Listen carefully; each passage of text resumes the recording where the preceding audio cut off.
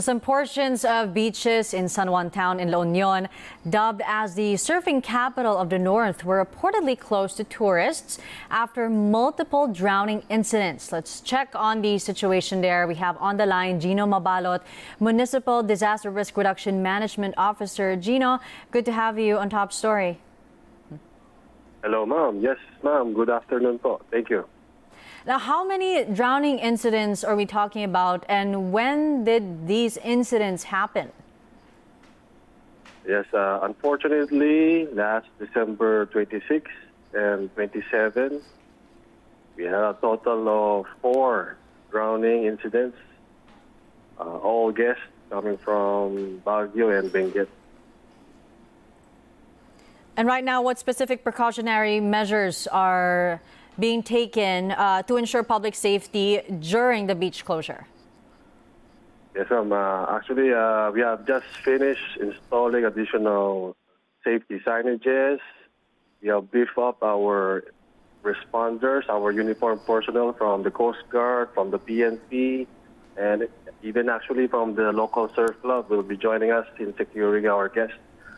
So tomorrow, uh, or later tonight, we will be issuing the executive order for the safe reopening of our beach and for the resumption of our tourism activities. Yes, ma'am. And the extent of the closure, which areas uh, in the San Juan Beach? Uh, is it the whole stretch? Um, which areas are you closing off? Uh, yeah, this, there are certain areas on our beach uh, precisely around Barangay Panicsican that will be temporarily closed for the tourists.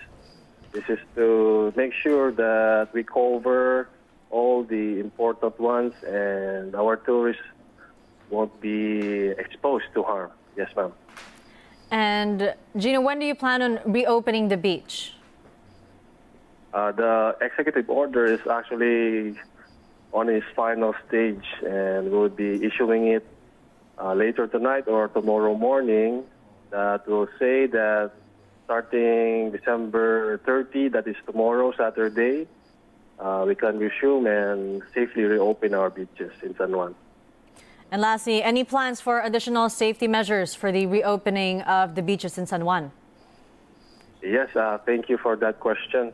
Uh, if you could allow me to express our po uh, mga pamilya at kaibigan ng mga nawala.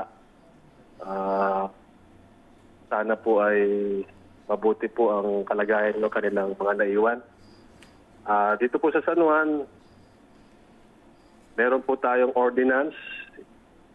This ordinance was established since 2018 and we highly recommend that every guest to their establishment should know and be aware of the safety measures for our beach. So number one is like the beach is only open from 6 in the morning until 6 in the evening. We do not allow minors to swim without their guardians and parents. And we do not allow anyone who is under the influence of liquor to go on the waters. So there are other related safety measures on our ordinance, and We'll be posting them around the surfing area. But it is nice to uh, make it a habit to ask our locals, our local surf schools, our employee from the resorts, where are the designated swimming and surfing areas. And it would also be nice if everybody could save our hotlines and put safety as a priority for their family this holiday. Yes, ma'am.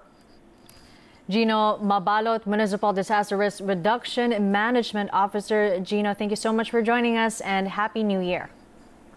Thank you. Thank you. God bless.